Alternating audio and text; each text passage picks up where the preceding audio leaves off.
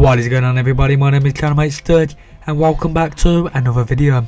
Now in today's video guys, what I'm going to be showing you is an awesome solo zombie portal glitch that you guys can do on the map IX. Now to do this, all you guys need to do is stay inside the spawn room until the end of wave 8. Now once wave 9 suddenly shows, you're going to hear the crowd of the audience making a beat. Now once that beat gets to 25 beats you need to be running out of this area and I'll be showing you that just in a few seconds right about now.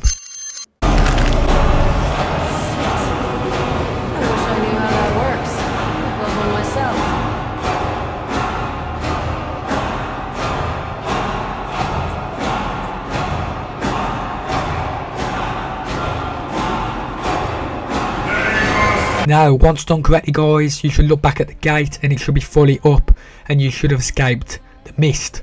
Now from here, all you guys need to do is kill 4 out of the 5 tigers that are going to spawn in on the map, as you can see. Once you've got to the last tiger, you're then going to want to save it.